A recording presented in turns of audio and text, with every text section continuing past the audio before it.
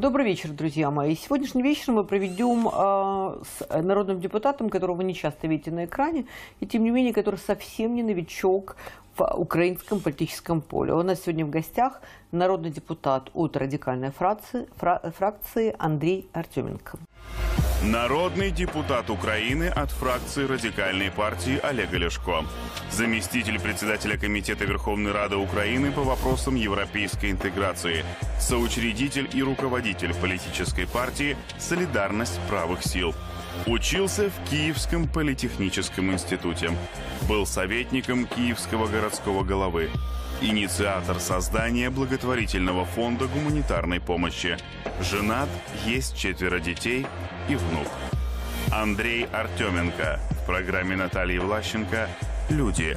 Хот-ток».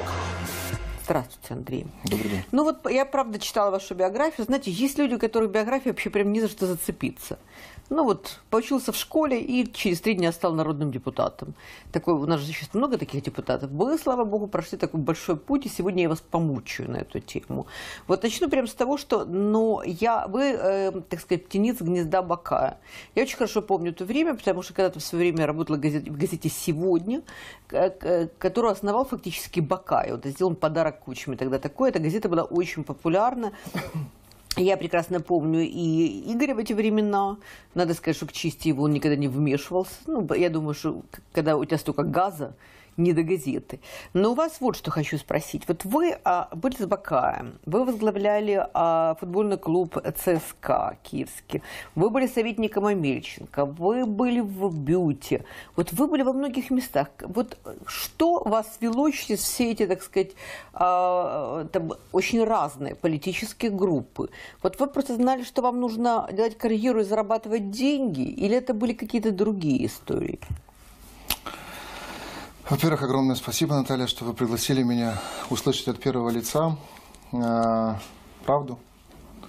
По крайней мере, мою субъективную правду, как я ее себе сам воспринимаю, как человек, как личность, как отец, уже как дед. Э, у каждого человека своя правда. Да вообще, на самом деле, правда, она имеет две стороны всегда. Белую и черную. Вообще любое действие, любое событие имеет две стороны. Э, те или иные события сейчас, по, по прошествии многих лет, а вы задаете вопрос фактически о моей юности, о моем становлении как человек, как мужчина, как отец. Я, конечно, оцениваю немножко по-другому, как то, что мне представлялось в то время. Но, тем не менее, вы знаете, э, оборачиваясь назад, мне не стыдно. Мне не стыдно ни за один мой поступок, ни за одно свое решение. Да, конечно, я сейчас во многом, может быть, поступил бы по-другому.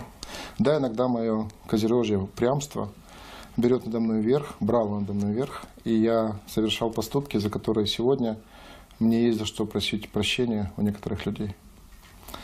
Э, да, конечно, сегодня, э, анализируя пройденный путь, э, находясь фактически в середине жизни, никто не знает, сколько нам отвед, отвед, отведено быть на этой земле. Я делаю определенные выводы, а самое главное, я по жизни, наверное, все-таки оптимист. Причем ну. оптимист, который смотрит вдаль, уверенно, а, понимая и неся полную ответственность за все свои действия, за все свои слова. Вы не просто оптимист, вы прям такой романтик. Вот я прям заслушалась, когда вы говорили. А вот как вы считаете, вот я возвращаясь к Игорю Михайловичу Бакаеву, Михайлович он, по-моему, да? Игорь Михайлович. Да. да. А, он, а, я знаю, что вообще судьбы многих сегодняшних политиков связаны с ним. Ну, например, там, братья Кличко, которых он в свое да. время а, финансировал, да. которым он помогал, так сказать, встать на ноги и так далее. Вот вам каким Бакаев вспоминается? Как вы считаете, он больше вреда или пользы принес Украине? Хотите инсайт?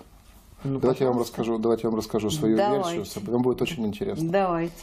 95 э, год. Я в то время находился, э, практически уже жил, э, у меня уже была грин-карта в Соединенных Штатах Америки.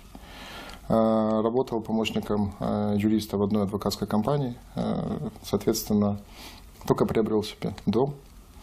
В Америке? В Америке. В Америке. Почему? Потому что мне занесло в Америку в 92 Но это не году дешево было. На какие Не деньги дешево, вы приобретали этот дом? Ну, с 92 года, живя и работая Будь за рубежом, юным человеком. с 92 года, после окончания Киевского политехнического института, после транзита, после Европы, после Бельгии, попасть в Соединенные Штаты Америки, познакомиться с человеком, который сыграл определенную роль в моей судьбе. Вся моя жизнь – это встреча вы за три года заработали на дом? За три года, да. А И- что, чем же вы таким занимались, что в Америке заработали на дом? а тем, чем занимался потом вместе с Игорем Михайловичем Бакаем, это сопровождал украинских э, талантливых людей, в том числе спортсменов, причем разных видов спорта. По жизни я был один из первых, да не просто один из первых, я был, наверное, первый национальный агент э, футбольный, э, который тогда только зарождался. Я был из тех людей, э, чье адвокатское агентство вместе с Федерацией футбола Украины основал ПФЛ. Я был из тех людей, которые по большому счету дал зеленый свет, дорогу многим известным сегодня не просто людям, просто спортсменам, а личностям, которые стали э, Кому именно? Ну, наши взаимоотношения с э, известной плеядой э, футболистов того времени, то есть это начиная от Ломановского и Суркиса, а также того золотого состава киевского «Динамо», скажем так, второго пришествия, в результате которого киевляне выиграли Кубок европейских чемпионов. Это все те люди, все те, этот золотой состав киевского То есть вы занимались тогда этими Я трансферами занимался всеми? именно этими трансферами и так далее. И в эту роль, естественно, в этим, этим занятием я и был, так сказать, замечен Игорем Михайловичем Бакаем, что когда он, если я не ошибаюсь, в 95 году принял решение о том, что он сопровождает некоторые футбольные круги, я очень аккуратно скажу, потому что это его дела, он финансировал украинский футбол, он занимался командами, в том числе и Днепром, в том числе и э, Борисфеном, если не ошибаюсь, и другими командами. Он пригласил меня, так сказать, помочь ему при э, в будущем, когда человек достигал, футболист достигал определенного роста, сопровождать его по юридическим вопросам, сопровождать, искать для него футбольный клуб, а договариваться об его футбольных трансферах, договариваться об его личных условиях, сопровождать его семью и так далее. Это была та работа, которую никто тогда еще в нашей молодой республике не делал. Я был первым. И Кстати, Михайлович- я не могу, извините, что Да. я перебиваю, не вспомнить одну скандальную историю, когда очень известная украинская газета Так. была закрыта, потому что она написала о том, что, э, по-моему, Шевченко продается за миллион, э, не за миллион, ну, за какую-то большую сумму. Сейчас не буду ничего врать, потому что я не помню, за сколько это именно было. Суркис тогда подал в суд, что они, э, так сказать, э, написали ложную информацию, и, газета была закрыта. Вы не помните эту Нет, я историю, не да? имел, не имел счастья, э, так сказать, участвовать в этой истории. Не помню ни про какие суды. Знаю про то, что Шевченко был э, продан в футбольный клуб «Милан». Э, Не скрою, мне бы хотелось бы стоять э, рядом с этим трансфером, потому что размер комиссионных был бы достаточно велик. Со своей стороны могу опять-таки сделать небольшой инсайт. Я привозил президента э, футбольного клуба «Пармы» на переговоры Григорию Михайловичу Суркису. Это был 90 седьмой год по вопросу продажи Шевченко в, грубу- в футбольный клуб «Парма». Вот, если не ошибаюсь, сегодня, по-моему, за 28 миллионов долларов. Это тогда, на то, на то время. Можете себе представить, размер комиссионных Так агентов. может, как раз об этом и шла речь, да? Возможно, не знаю, то есть не, как бы не следил за это, за это дело. Но благодаря моим скромным усилиям такие футболисты, как э, Юрий Максимов, такие футболисты, как тот же а, Виктор Скрипник, который сегодня в футбольном клубе Вердер, к чему непосредственно имел прямое отношение к его переходу, возглавляет э, первую команду немецкой Бундеслиги. И другие вещи. Но это же Ну, был достаточно небезопасный бизнес. Некоторые наши футбольные знаете, агенты 90-е, просто были убиты 90-е в эти годы, годы. 90-е годы это вообще небезопасное время, в прямом смысле слова. Если ты имеешь отношение к э, деньгам, а я имел отношение в том числе и к большим деньгам, это э, история, которая грозила тебе, ну, как минимум, подчеркиваю, как минимум опасности для тебя лично и для твоей семьи в том числе. Поэтому у меня было много моментов, было очень много неприятных встреч. Ну, Там однажды дошло до покушения, это уже отдельная история. Вот. Я прошел эти 90-е. Э, Как я уже говорил, мне ни за что не стыдно. А если мы оставим футбол и перейдем в другие виды спорта, то и Андрей Медведев, В группе стороны, Бакаев в то время были такие люди, как ам, э, Алексей Кучеренко, Конечно. Василий Горбаль, Конечно. Александр Абдулин, который Конечно. сегодня ваш коллега. Конечно. Вы общаетесь сегодня с этими Да, всеми я со людьми? всеми. Вы знаете, тот коллектив, вообще ту команду, которую создал Бакай, сегодня она доказала в том, что мы прошли школу, которая сегодня есть чего дать для нас, э, как применить в наше время, и самое главное, как отдать стране то, чему, чему она нас научила. Вы забываете о том, что еще там был такая личность, как Александр Михайлович Волков, который сыграл, наверное, Да. ключевую роль в становлении Бакая, по большому счету самую ключевую. Тот самый директор парламента, Тот самый много... директор парламента. много да, а да. что сейчас с Александром Волком? Где он? Насколько я знаю, он счастлив в своем браке, у него трое замечательных детей, а, наверное, уже и внуков.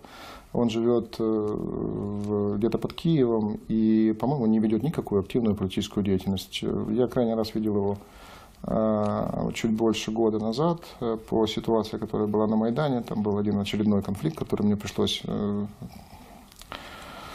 улаживать, не- некрасивое слово, не- решать, так скажем, да.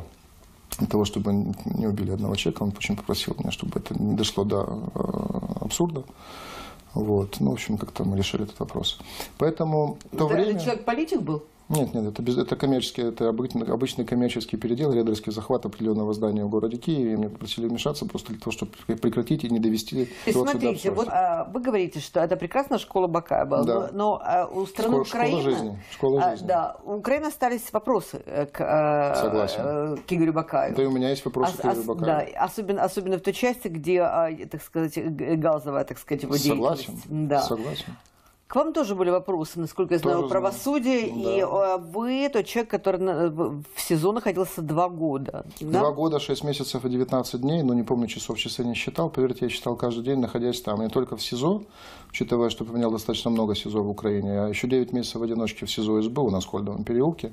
Кстати, где я познакомился с Николаем Карпяком, так судьба меня свела. Э, Отдельная история наших взаимоотношений с Колей, то, что было в СИЗО, то, что было потом на Луктяновке, то, что было после того, когда мы освободились, наши взаимоотношения, его участие на УНСО, его участие, его роль в создании правого сектора, да и моя роль в создании правого сектора. Я очень редко об этом говорю. Вам скажу кое-какие вещи, которые никто не знает в Украине. Ну, ну вот а, давайте вот мы закончим просто Давайте, по, да. по уголовному делу этому. Давайте что это было за уголовное? Потому что говорят что- о том, что, Да, а, да, да. по крайней мере, то, что я читала, по крайней мере, в прессе, что речь шла о больших злоупотреблениях финансовых на посту вашего Да, вот, да, да, а, человека, который занимался трансферами Да, я футбольными и футбольным Да, я клубе. расскажу на самом деле достаточно откровенно, потому что это публичная информация. На самом деле, сейчас сделать research в интернете, вы увидите много еще статей того часа, то есть второй, третий, четвертый год и так далее.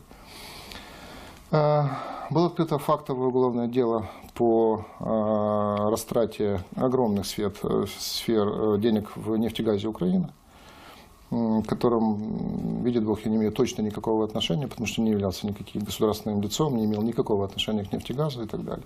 И в это фактовое дело расследовалось по поводу вывода каких-то колоссальных сумм со счетов э, нефтегаза. На оплату футболистов. На опла- Не, не, не, я даже не знаю, нет, какие там бомбардировщики какие-то были. Футболисты не имели к этому никакого отношения. Мои предшественники на этом посту. А это даже были самолеты? Абсолютно. Какие-то самолеты, бомбардировщики. Еще раз говорю, я не знаю. Это, это мне досталось наследство. И самое главное, что самое интересное, был подписан контракт. Там, где э, мой предшественник, который возглавлял, этот, э, если не ошибаюсь, государственное предприятие Министерства обороны, футбольный клуб ЦСКА Киев, так он назывался, да, подписал договор на вот эту сумму. Ну, уголовное дело расследовалось э, полтора-два года. Я там два раза меня приглашали как свидетель, я давал показания, и на этом все заглохло в 2000 году, хочу обратить внимание. Арестован же я был в 2002 году, расскажу как, при каких обстоятельствах. Эм, Я, подал, я, баллотировался на выборы в Верховную Раду. Э, Соответственно, От кого? от- ну, это было с- само, само, Мажоритарщик. мажоритарщик, да, да, да, по Одесской области. И, соответственно, должен был стать народным депутатом, потому что выиграл, как у своего оппонента коммуниста, 72 на что-то там 18 и так далее. Но в тот момент мой тогдашний шеф, э, человек, которого я поддерживаю благодаря знакомству с, кстати, то, что братьев Кличко я сопровождал с 95 по, фактически по 2002 год Это кто? постоянно и так далее. Это Мельченко Александр Саныч, который, ну, так сказать, тоже им здорово помогал в жизни.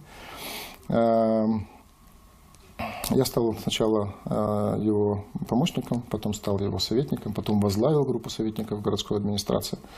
А Александр Александрович э, ну, не сошелся в чем-то с Леонидом Даниловичем с Кучмой в то, время и так далее. Напротив него было открыто шесть уголовных дел. Шесть.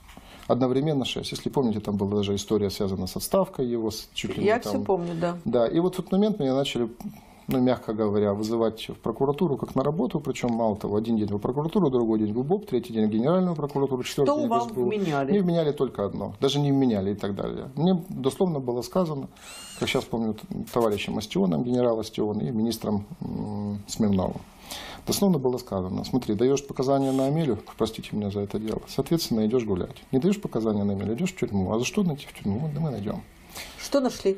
А, Ну вот нашли все то, что пишут в интернете. Якобы я перечислял какие-то деньги значит, со счетов государственного предприятия на свои личные счета и, соответственно, их тратил там неизвестно Но это же нужно доказать. Ну, безусловно, да. Вот, соответственно, этим занимались они два года, э, 6 месяцев, 17 дней. Освободили меня в времена э, сразу после начала оранжевой революции. И освободили именно, именно эти события. Андрей, вы понимаете, у нас же многих освобождают. И не, и не всегда, потому что правда Не так, у э, нас, у нас не всех садят. У нас освобождают рано или поздно вообще всех. Я очень мало знаю людей, которых не освободили бы. Вопрос только как. По приговорам Вы были членом БЮТ? Да, я был членом Вы БЮТ. были членом партии регионов? Никогда в жизни. Не были членом Никогда партии в жизни. Ту ерунду, Членом еще которую- какой партии вы были? Никакой. То- Только БЮТ. Ну, конечно, да. Ну, сейчас являюсь Как, радикальной как партии. послу- случилось так, что вы дрейфанули к правому сектору, вас, а, причем когда какое-то недолгое время, вас называют, а, так сказать, Смешно, да. финансистом, человеком, который отвечал за финансы в правом секторе. За какие, финан... какие финансы могли быть у правого сектора? Давайте закончим с бютом, потому что это на самом деле одно с другого вытекает. В Киевсовете до 2008 года а, «Вера и правда» служила фракции бют.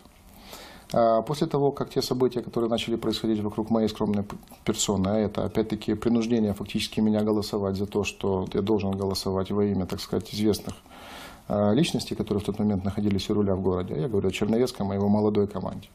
Вот, я понял, что я не буду этого делать, а меня опять же начали пугать уголовными делами, реанимацией всех моих всех этих вещей. Я понял, что в этой стране, в те условия, которые вот сегодня, опять-таки для меня создаются, я уже входил в эту реку, и мне здесь просто нечего делать. Я принял для себя просто единственное правильное решение в восьмом году, это в седьмом году. Я не вышел с бюта и не перешел в А кто партию вас региона. принуждал к этому голосованию? Это, ну, вот ваши однопартийцы вас принуждали, там, нет, Юлия Владимировна? Нет, а почему Юлия Владимировна? Нет, она здесь Ну, вообще чем. принудил. Я расскажу, ну дайте сейчас сказать, я пытаюсь объяснить. Не Юлия Владимировна. Началось все то же самое, что было в 2002 году. То есть приглашение в прокуратуру, а, повестки, э, соответственно, допросы, где только одно условие. Ты переходишь э, в э, большинство Черновецкого, и, соответственно, после этого к тебе нет никаких претензий. И какое решение вы Я вам приняли? скажу больше. То же самое делали с моим отцом. То же самое делали с моими бизнес-партнерами. Это все решение принял единственно правильно. Я не переходил в партию регионов или куда-то еще другое место. Я просто уехал со страны.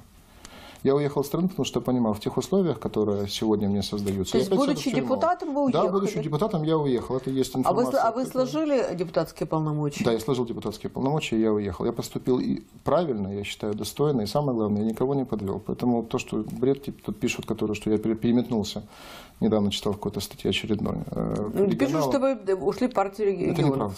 Это неправда, я это официально заявляю. Я, я, пере- я просто уехал из страны. А кто вас тогда запугил конкретно? Вот скажите, Черно- команда Черновецкого, А, это, же, это же, это же не просто это какие-то люди, какие-то фамилии имеют. Три Кто? раза, три раза меня э, приглашали в городскую прокуратуру, следственное управление, где мне положили на стол мое уголовное Кто с вами из дело. политиков говорил? Скажите, ну кто с вами говорил? Довгий, Нет. Черновецкий, кто У с нас вами были говорил? отношения только с Леонидом Михайловичем. Леонид Михайлович вел основную работу. С Олесем Довгим мы встречались только во время голосования, только во время того, как мы, мы ну, я достаточно фактурный парень и так далее. Так я вот там достаточно часто не давал некоторым нашим особо злобным депутатам ударить его очень тяжелым по голове, например, стулом.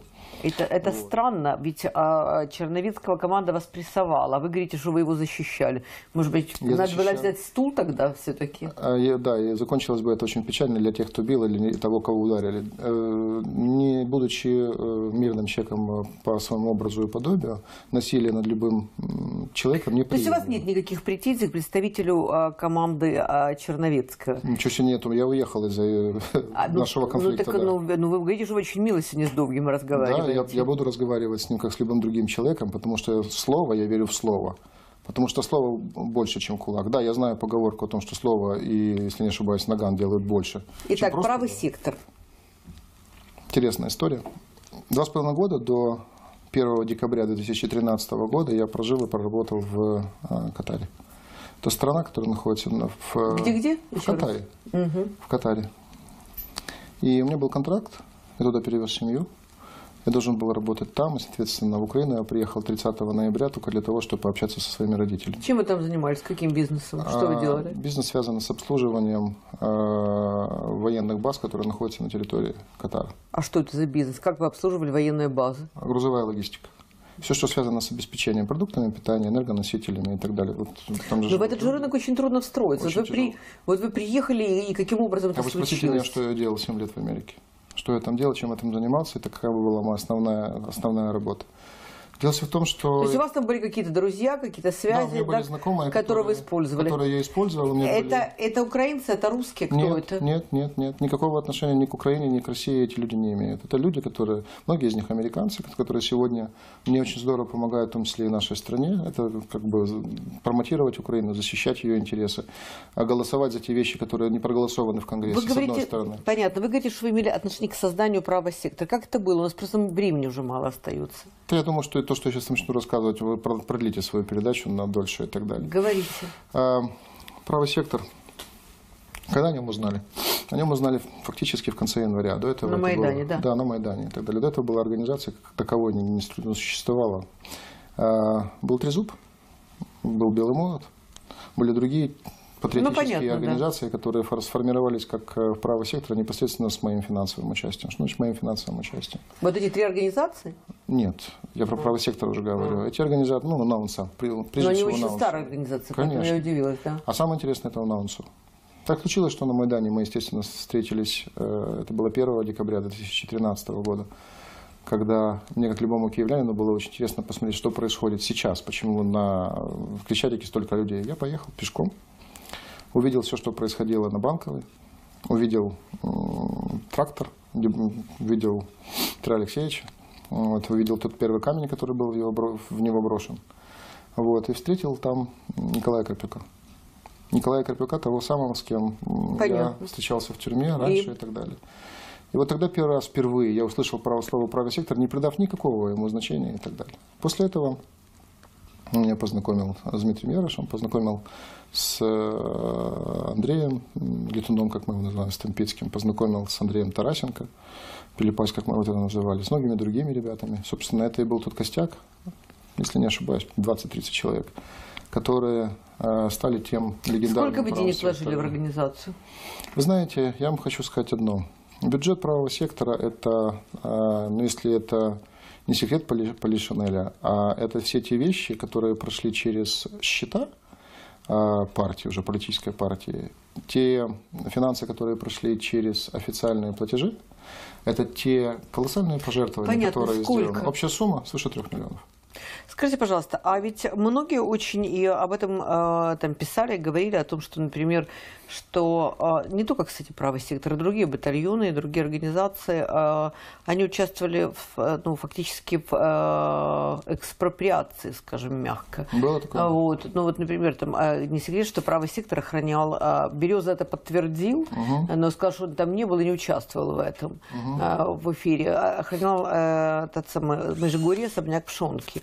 Э, Очень много исчезло оттуда вещей. Да, правда. Очень много, в том числе и машины, автопарк огромный, часть которого была какое-то время на стоянке возле МВД, теперь не знаю, куда она делась, вот, но часть забрали а, вы фактически. Ну, не вы лично, я не знаю. Нет, но правый сектор. Куда делись, куда право, потому что когда мне Дмитрий сказал, когда он был у меня в эфире, я говорю, куда делись вещи э, из э, особняка, из Межигорья, особняка Пшонки? Он сказал, ми їх передали в, на прес, після прес-конференції в готелі там, е, Дніпро. Кому передали? На, я спросила, кому? Он сказал, не пам'ятаю. Може бути, ви пам'ятаєте? Дипломатический ответ и так далее. А, Давайте по порядку. Да. Да, мы первые вошли в резиденцию Януковича.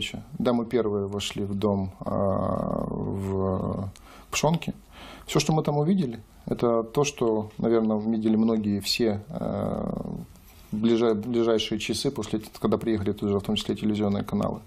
Это полностью разграблены фактически вандальным способом а, дома, Это вынесено, все, что можно вынесено. Причем некоторые вещи, вот, например, у... То есть вы хотите сказать, что они были Я разграблены не до хочу вас? сказать, я декларирую это. Я точно знаю, о чем я говорю. Почему? Потому что все, что нам осталось сохранить, все, что нам удалось, точнее, сохранить, мы, спасибо нашим представителям СБУ, мы сразу вызывали людей, описывали каждое, подчеркиваю, Каких каждую. людей вызывали? СБУ, это было, это было представители, если не ошибаюсь, мы тогда с Валентином Наливайченко общались, и он нам давал людей, кто приезжали. Это было с Национального банка, это был, фамилии сейчас не помню, но могу поднять. Это были СБУшники, это были представители Национального банка, это были общественные организации, которые мы вместе протоколы То есть составили. директор того, Национального что музея сказала, что были коллекции картин, но, в принципе, уже ничего не осталось, когда они приехали. Вообще, в принципе, ничего. Я декларирую только то, что Скажите, знаю а сохранилось, а сохранилось, а, ну, вы должны были, если вы что-то передавали, то до- должно было какие-то копии сохраниться, кому и что вы передавали. Это вообще документы эти сохранились? Вы знаете, я вам скажу... И где-то можно увидеть? Я думаю, что да. Я думаю, Да? что я вам сделаю такой, такой подарок, я попытаюсь поднять эти архивы и вам передать Вот было бы список. очень интересно. Да, мы сравним на Да. самом деле, что лежит там и что мы, пере- ну, что это- мы вот, передали. это, вот это было бы интересно понять. Автомобили где?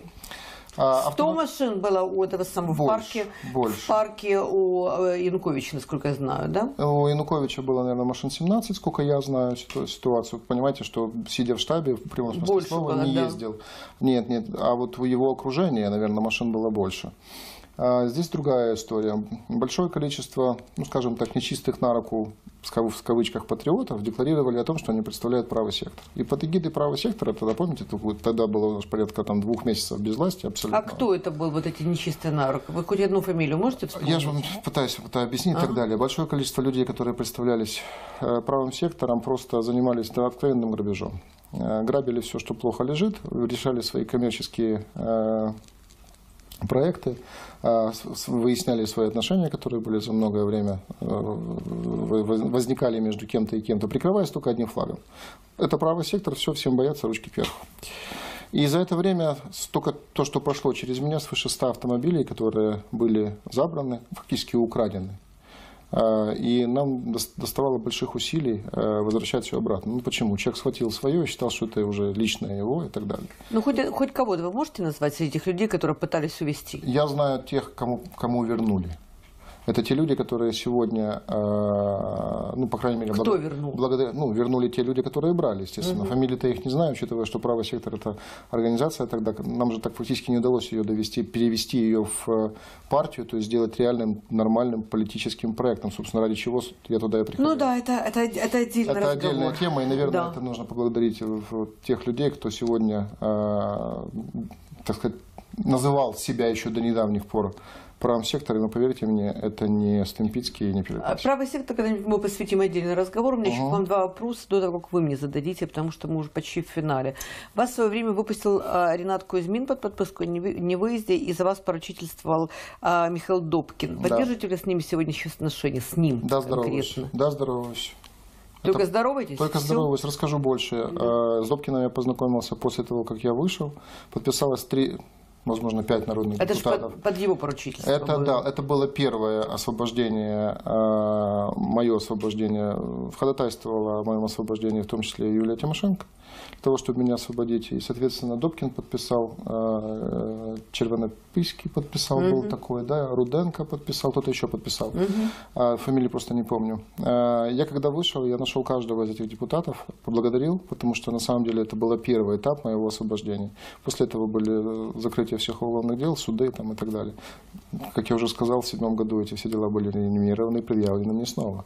Так вот, ни с кем, подчеркиваю, ни с кем из тех людей, кто подписал тогда, а за исключением одного человека, это Геннадий Борисович Руденко, я сегодня не общаюсь. С Добкиным мы здороваемся, привет, или там здравствуйте, здрасте, потому что ни, э, даже приятельских отношений у нас не было, нет, будет, зависит больше от него. Почему радикальная партия? А, Знаете, вот я сколько разговаривала с членами радикальной партии, практически никто из них не знает историю радикальной партии европейской, никто не понимает, что такое радикальная Да. идеология. А вы почему в радикальной партии? Как, ну, то есть я не вижу связи. Вообще, левая партия, Батькивщина, радикальная партия. Вот как, как вообще? Почему А у нас практически в стране сегодня нет идеологических партий, то есть партии, все в основном партии лидерского толка, да, то есть есть лидер, есть вождь, есть человек, ну, безусловно, обладающий своей харизмой, обладающий своими взглядами и так далее. То есть вы Что фактически связывает- под Лешко пришли? Что нас связывает с Олегом Лешко? Ну, наверное, то время, когда я занимался непосредственно, в том числе и правым сектором, э, финансовыми вопросами, решал кое-какие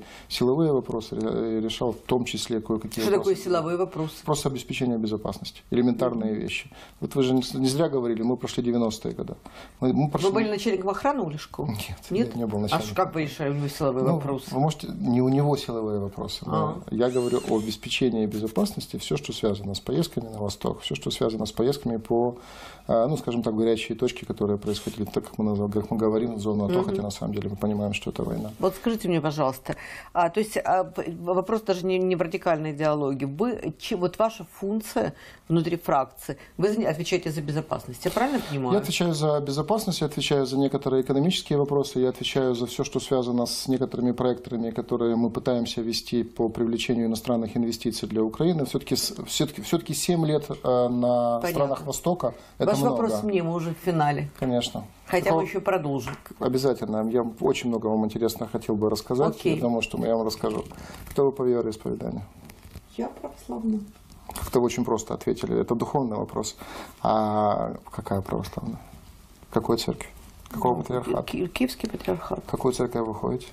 Ну, я хожу, я живу в селе Иванковиче, я хожу, когда я хожу в церковь, я хожу вот в маленькую церковь, а, которая у нас в деревне находится, либо же, когда я приезжаю к маме в Житомир, хожу в Житомирский приход. Вы исповедуетесь, вы причащаетесь? Очень редко.